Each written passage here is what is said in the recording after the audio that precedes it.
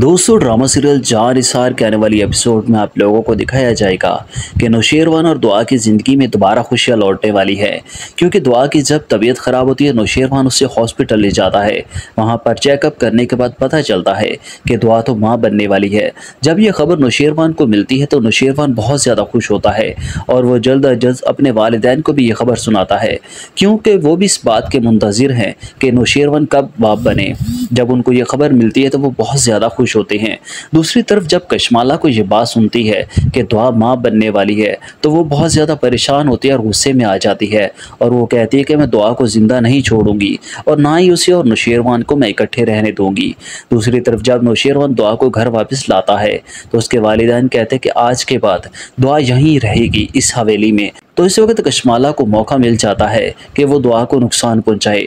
अब वो दुआ को ना तो जल्द अज जल्द माँ बनने देगी और ना ही उसकी ज़िंदगी में खुशियाँ आने देगी।